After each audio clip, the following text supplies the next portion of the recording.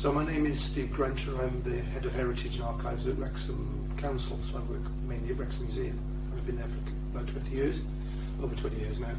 But before that, I worked at Clwyd County Council as the Deputy County Archaeologist. And I've worked extensively throughout Wales excavating sites, particularly in North East Wales. It's Roman amphora. Uh, amphoras were endemic throughout the empire and they're used to transport usually liquids around the empire, sometimes dry goods. This particular vessel, uh, because of its shape, uh, we know probably would have transported wine. Um, so that, that's, that, that's what it's usually for. But it can be fish sauce, it can let's say, be dry goods as well. In this particular vessel, because again, because of its shape, we can date it reasonably accurately um, to sometime between the reign of the Emperor Augustus and the Emperor, reign the Emperor Hadrian. So we're talking, you know, it spans the first century AD, effectively. So it's about, it's about 2,000 years old. It was found, rediscovered, if you like, in Rhos-on-Sea, in, off Horton, in Horton Drive. Um, we had a, a letter from a, a neighbour um, saying that they thought their friend had an interesting object in the garden. So we, we set off from Shire Hall in Mold and we, we visited Horton Drive. And as we drove into the street, we could see the amphora clearly displayed in the garden because I knew exactly where it was immediately. Apparently it, it had been originally found when the bungalow was built in the 1960s. Um, it was found vertically in the ground with the rim showing. Uh, we got this from anecdotally from the owner of the bungalow wasn't the owner at the time it was found. Um, and when and then when they, they came to the house about 1977, they stuck it in the garden in front of the hydrangea and there it sat.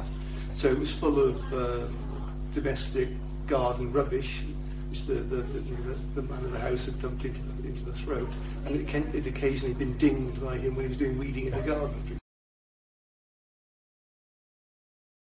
It's one of, it either is the, or it's one of the very few complete amphoras ever found in Wales. Um, but it's, it's the, I suppose the thing is, what, what was it doing in Rhos-on-Sea? And of course, until the old time machine is invented, we're never going to know for certain. But my, the fact that it was buried some distance below the ground, and the fact that it was vertical in the ground, suggests to me that it, it either contained a, a burial, like a cremation burial, and it was just washed out of the pot without anybody knowing exactly what it was, or there might have been a coin hoard inside, and for whatever reason that coin hoard has been lost. Uh, there, there are a number of coin hoards in on the coast of North Wales. Um, there was a lot of Irish sea raiding going on towards the end of the Roman period. In fact, there was a detachment of the fleet that was based in Holyhead to patrol the, the North Wales coast. And it may well be that people were burying money because of that danger, and then for whatever reason, either because they've forgotten where they buried it or because they've been killed in the raid, haven't been able to retrieve the money. So if I was to, to guess on what it was likely to have been doing there, I guess it's probably a coin and for whatever reason, the hoard itself has been lost. You can get sort of flat bottom or globular ones. There's quite a variety of different shapes around for amphora.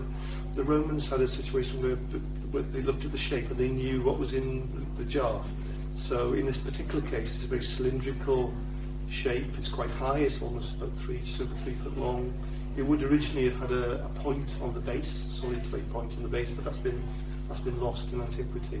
And it's designed so it can be easily poured from, and it's designed it can be stored in some numbers in the holds of ships.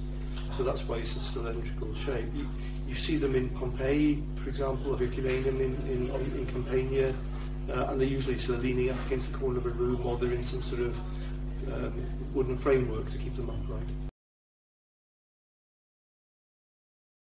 There's a certain amount, and I've mentioned the coin hoards already that you get on the North Wales coast. We, we're at the, here we're in between two Roman forts, so there's the Roman fort at Canovium or Caerhun, and the Roman fort, um, there was thought of in a Roman fort somewhere in St that most of the sites in this area tend to be haunt sites or, or, or lung burials or stray finds. Um, but we, we don't know a great deal about the Roman period yet, even. So I'm sure there are more sites to be discovered.